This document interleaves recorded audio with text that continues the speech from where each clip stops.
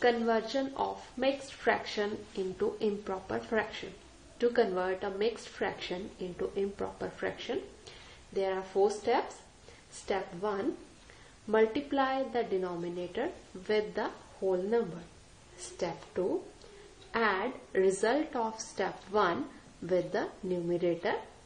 Step 3 Result of step 2 will become numerator of the improper fraction and step 4 denominator of the mixed fraction will remain same in improper fraction.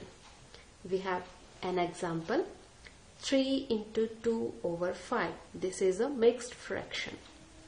So we convert it into improper fraction.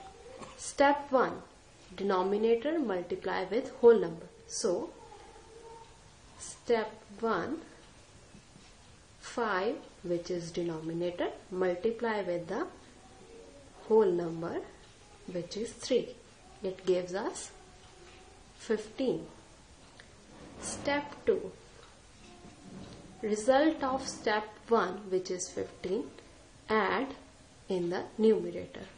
So 15 plus numerator is 2 it gives us 17 Step 3 Result of step 2 will be the numerator. So 17 will be numerator of the um, improper fraction.